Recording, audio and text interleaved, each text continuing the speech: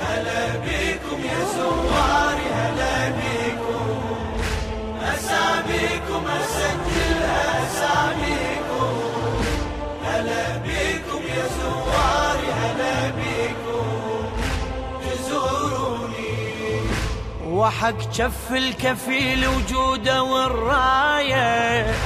أنا وعباس وياكم يا مشاية. وحق جف الكفيل وجوده والراية. أنا وعباس وياكم يا مشاية. يا من بعت النفوس وجيت شرايه علي واجب أوافيكم يا وفاية. تواسيني شعايركم ترويني مدامعكم. أواسيكم أنا وجرحي أواسيكم. هلا بيكم يا زواري هلا بيكم تزوروني. بسم الله الرحمن الرحيم. الحمد لله رب العالمين والصلاة والسلام على محمد وآل بيته الطيبين الطاهرين واللعنة الدائمة على أعدائهم إلى يوم الدين. السلام على الحسين وعلى علي بن الحسين وعلى أولاد الحسين وعلى أصحاب الحسين عليهم السلام. ثم السلام عليكم أخوتي الكرام ورحمة الله وبركاته. حديثنا في فقه الزيارة الحسينية المقدسة. حسين حسين. الحلقة الماضية وصلنا إلى زيارة قبر النبي صلى الله عليه وآله ثم الدعاء. لا فقط الزيارة فقط المستحب والأجر والثواب لمن زار قبر النبي صلى الله عليه وآله ودعا الله سبحانه وتعالى عند قبر النبي وجعل النبي صلى الله عليه وآله شفيعا له يوم القيامة. والنبي هو الذي أراد ذلك. فالرواية التي انتهينا بها في الحلقة الماضية أحببت أن أتوج بها هذا هذه الحلقة بهذا الدعاء الجميل الذي أطلب من إخوتي الكرام المشاهدين أن يستغلون في بعد صلواتهم قراءة الأدعية والدعاء الله سبحانه وتعالى في كتابه الكريم أكثر من آية ويؤكد على الدعاء ادعوني أستجب لكم. وإذا سألك عبادي عني فإني قريب. أجيب دعوة الداعي إذا دعان. غير ذلك من الروايات التي تتحدث عن أهمية الدعاء. والتأكيد على الدعاء لا سيما عند صلاة الفجر وبعد الصلوات. وفي ليالي الجمعة وفي شهر رمضان المبارك وسائر المناسبات العظيمة والشريفة. ولذلك فما أحلى الدعاء وما أعظم الدعاء عند قبر النبي صلى الله عليه وآله. ولذلك إذا أردتم أن تتعلقوا بالله أكثر فتقربوا إلى رسول الله صلى الله عليه وإلى أهل بيته عليهم السلام. لا سيما إلى الإمام الحسين عليه السلام اللي هو حبيب حبيب الرسول صلى الله عليه وآله. الدعاء مخ العبادة كما في روايات الشريفة. فتأملوا في هذه الأدعية. ربما يسألني بعض الأخوة الكرام شيخنا من أين لكم هذه الأدعية؟ هي أدعية أهل البيت عليهم السلام. صحابة النبي ليس لهم أدعية.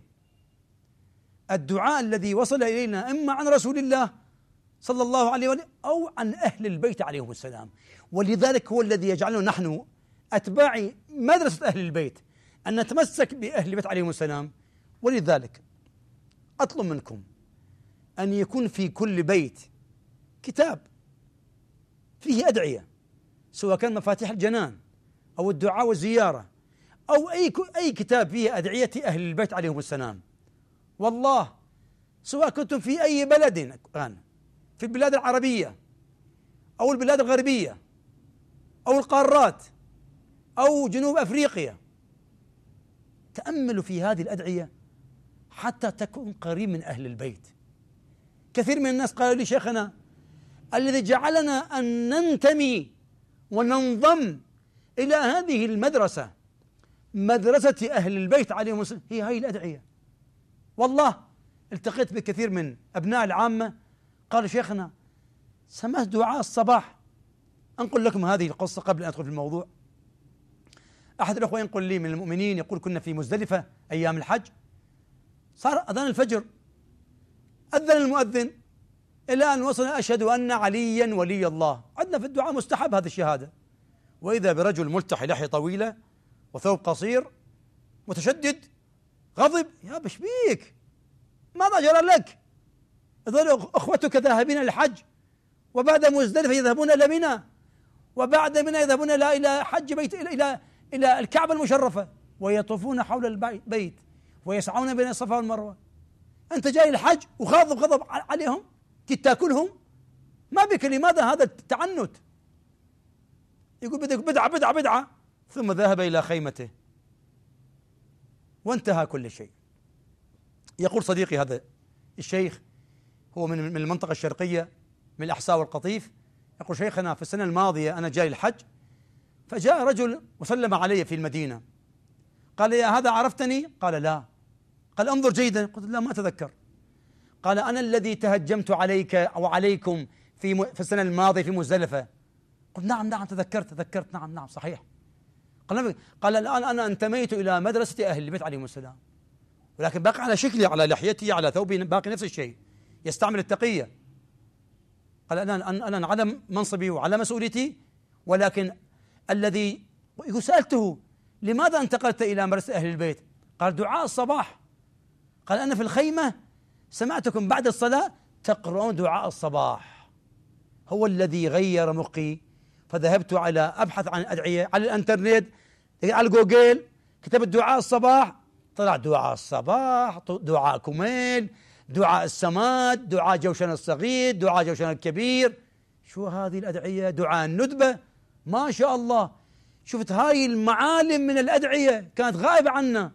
إحنا أصلا ما عندنا أدعية. إحنا أبناء العامة. المذاهب ما عندنا أدعية. أما جينا إلى إلى إلى مذهب أهل البيت شفنا هذه أدعية عظيمة. ولذلك أحببت أن يكون هذه الحلقة خاصة للدعاء عند قبر النبي. حتى شوف إحنا الشيعة متعلقين برسول الله. ونعشق النبي. ونسير على منهج رسول الله. هاي وصايا أهل البيت يا حبيبي.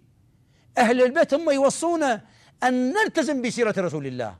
فنحن على سنة رسول الله صلى الله عليه وآله. نقرأ الدعاء. وأنت اقرأ معي. اقرأ معي وتأمل في الكلمات. راح أقرأ ببطء حتى تتوجه إلى الكلمات ما راح أشرح عليه ما عندي وقت. ولكن أنت مع عقلك وضميرك ووجدانك خلي يجري هذا الدعاء يجري في عروقك. تعرف حتى شنو؟ الإمام الصاغ سلام الله عليه ينقل لنا هذا الدعاء. أشهد أن لا إله إلا الله. هي وين تقرأ؟ عند قبر النبي. أشهد أن لا إله إلا الله. وحده لا شريك له. عم نقول وحده لا شريك له. يسمونا مشركين كفار. هاي بعد وحده لا شريك له. وأشهد أن محمدا عبده ورسوله.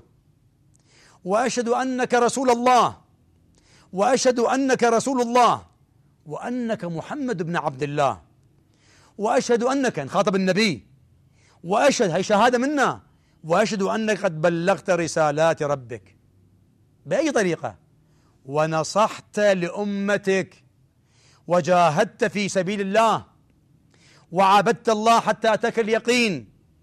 بالحكمة. شوف هذا هذا هذا هذا الأسلوب. مو الغضب والشدة. اللين المحبة. شلون كان النبي يبلغ الرسالة؟ بالقوة بالبدعة والكفر والتكفير.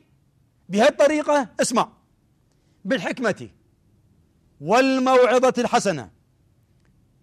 طبعا هي مشتقة من الآية. بسم الله الرحمن الرحيم.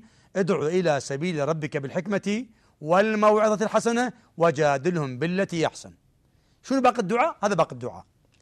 وأديت الذي عليك من الحق وأنك قد رأفت بالمؤمنين وغلظت على الكافرين. فبلغ الله بك أفضل شرف محل المكرمين. الحمد لله الذي استنقذنا بك من الشرك والضلالة. اللهم اجعل صلواتك وصلوات ملائكتك المقربين وعبادك الصالحين وأنبيائك المرسلين وأهل السماوات والأرضين. ومن سبح لرب العالمين من الأولين والآخرين على محمد عبدك ورسولك ونبيك وأمينك ونجيك وحبيبك وصفيك وصفوتك وخالص وخا وخاصتك وخيرتك من خلقه. اللهم وأعطه الدرجة والوسيلة من الجنة وابعثه مقاما محمودا يغبطه به الأولون والآخرون اللهم إنك قلت ولو أنهم إذ ظلموا أنفس أنفسهم جاءوك فاستغفروا الله واستغفر لهم الرسول لوجدوا الله توابا رحيما. وإني إن خاطب النبي وإني أتيت نبيك مستغفرا خاطب الله إلهي. وإني أتيت نبيك مستغفرا تائبا من ذنوبي. وإني أتوجه إليك بنبيك نبي الرحمة. محمد صلى الله عليه وآله. يا محمد يا رسول الله إني أتوجه إلى الله ربي وربك ليغفر لي ذنوبي. اللهم اغفر لنا ذنوبنا. ما تقدم منها ما تأخر وما نعلم وما لا نعلم. أيها الأحبة هذا هو الدعاء عند قبر النبي. والله يحتاج إلى حلقتين أتحدث عن معاني هذا الدعاء ولكن الوقت لا يسعني. ننتقل إلى دعاء آخر عند قبر رسول الله صلى الله عليه وآله. الرواية عن معاوية بن عمار. قال أبو عبد الله الإمام الصادق الإمام السادس من أئمة أهل البيت عليهم السلام. قال إذا فرغت من الدعاء عند القبر يعني قبر النبي فأتي المنبر. لأن قبر النبي وكفت حوالي يمكن سبعة أمتار أو ست أمتار المنبر. تأتي قبر النبي وامسحه بيدك. يعني إذا تمسح تروح عند قبر النبي وتمسح به على وجهك. وإذا رأك واحد من هؤلاء جلاوز العناصر لضربوك. ولا اتهموك بالكفر والشرك. جرب. إذا عندك أقرباء ذهبوا الحج اسألوهم. وإذا تذهب سترى ذلك بأم عينك. نعم. قم عنده فاحمد الله عند قبر النبي أو عند منبر النبي. فاحمد الله وأثنى عليه. قل سبحان الله والحمد لله رب العالمين. واسأل حاجتك اطلب حاجتك من الله. ولكن اجعل النبي وآل النبي وسيلة إلى الله. يا أيها الذين آمنوا اتقوا الله وابتغوا إليه الوسيلة. لا تقولوا إحنا إحنا الشيعة نعبد الأئمة نعبد علي بن أبي طالب نعبد الحسين. لا والله. وإنما هؤلاء كالنبي. نجعل النبي شفيع. وواسطة عند الله وهكذا نذهب إلى قبر الحسين عليه السلام ونجعله شفيعا عند الله سبحانه وتعالى. قال بعد أن تسأل حاجتك فإن رسول الله صلى الله عليه وسلم قال ما بين منبري وبيتي روضة من رياض الجنة. النبي عن الروايات. قال رسول الله صلى الله عليه وآله ما بين قبري ومنبري روضة من رياض الجنة وإن منبري على ترعة من ترع الجنة. الله أكبر. مثل غرفة مكان جميل. في الجنة هناك ترعة من ترعة الجنة. وإن منبري على ترعة من ترع الجنة. وقوائم المنبر رتب في الجنة. والترعة يقول في الرواية باب صغير. ثم تأتي مقام النبي عند قبر النبي. بعد ما تحل المنبر تأتي إلى قبر النبي. فصلي عليه ما بدا لك. فإذا دخلت المسجد فصلي على محمد وآله. اللهم صل على محمد وآل محمد. اللهم صل على محمد وآل محمد وعجل فرجهم في عافية منا والعن أعداءهم. صل على محمد وآله. وإذا خرجت فافعل ذلك وأكثر من الصلاة في مسجد النبي. يعني أيها المؤمن أيها المسلم ليس هناك فرق بين قبر النبي ومسجد النبي. زر النبي وادع عند النبي ثم اذهب إلى مسجد رسول الله وصلي صلاة الزيارة وسائر الصلوات عند قبر رسول الله صلى الله عليه وآله.